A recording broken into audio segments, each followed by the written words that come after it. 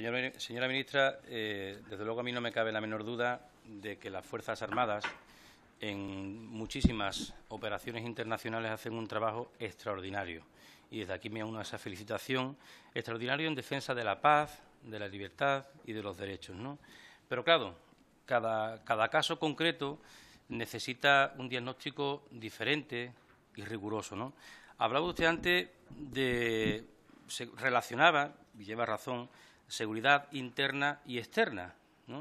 Y claro, yo le voy a dar un dato. ¿no? La seguridad interna de nuestro país, que la tienen, eh, que corresponde a la Policía Nacional y la Guardia Civil, en los últimos años se han perdido 20.000 agentes, 10.000 policías y 10.000 guardias civiles. Claro, sí, como consecuencia de, esos recortes, eh, que tenemos a policías y a guardias civiles sin chalecos antibalas en una situación de alerta 4, ¿no? Pero es que además eh, usted se ha quedado corta en el relato. Es decir, no estamos, hablando, no estamos hablando de un caso concreto del año 2014. Nos tenemos que retrotraer al año 2003, porque fue allí, esa es, la, decir, lo que tenemos hoy es la consecuencia de lo que pasó en la guerra de, Irak. Es decir, y tendríamos que preguntarnos si 13 años después, es decir, ha servido para algo o está sirviendo o vamos en el camino correcto de lo que estamos haciendo. ¿Es Irak hoy un país más seguro y más estable? ¿Es Oriente Medio una zona más estable y más segura?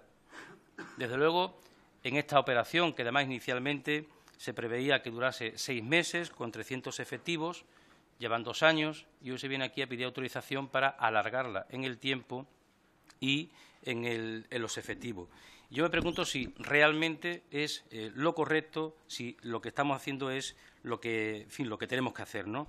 Yo creo que nuestro grupo creemos que algo está fallando y que no estamos, no estamos haciendo eh, las cosas bien. Mire, para formar, para que la Guardia Civil vaya a ir a, formar a policías, eso se puede hacer aquí en España.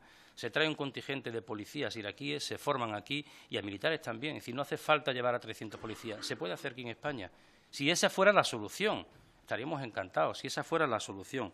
Pero claro, eh, tenemos que ir más lejos, ¿no? Es decir, eh, podemos atraer a nuestro país, como le digo a la policía, pero mire, no solo eso, no se están haciendo las cosas de forma eh, correcta, porque además no se argumentan las necesidades de, de, esta nueva operación, es decir, nuevas necesidades. ¿Cuáles son esas nuevas necesidades? En un documento que no viene acompañado de una memoria económica y, además, no, no hablo de dinero, hablo de falta de opacidad y de transparencia, porque no hay que escatimar en gastar dinero cuando se habla de la seguridad de todos los ciudadanos españoles y de, y de colaborar con el resto del mundo. No hay que escatimar, ¿no? Pero claro, en el punto 6 de este documento, además, habla de que la ministra podrá autorizar ajustes necesarios. Es decir, ¿eso que es? ¿Un cheque en blanco? Es decir, usted viene aquí, eh, le autorizamos y ya no tiene por qué venir más, porque si usted quiere realizar algún cambio dentro de esa operación, no tiene que venir aquí a hacerlo. Eso viene en el punto 6 de ese documento que, nosotros, que usted nos ha mandado, que el Gobierno nos ha mandado. ¿no? Mire, nosotros tenemos propuestas, no venimos solamente aquí a decir que no, tenemos propuestas. Eh, es esencial, lo primero, un diagnóstico riguroso sobre lo que está pasando en Irak. Desde luego, si ustedes lo tienen, a nosotros no nos ha llegado ese informe eh, riguroso. Hay que estudiar caso por caso y en este caso que nos atañe, le insisto, no está necesariamente eh, argumentado. Hay que reforzar la sociedad eh, civil en estos países. Hay que cortar la vía de financiación del DAES. ¿Qué se ha hecho sobre eso?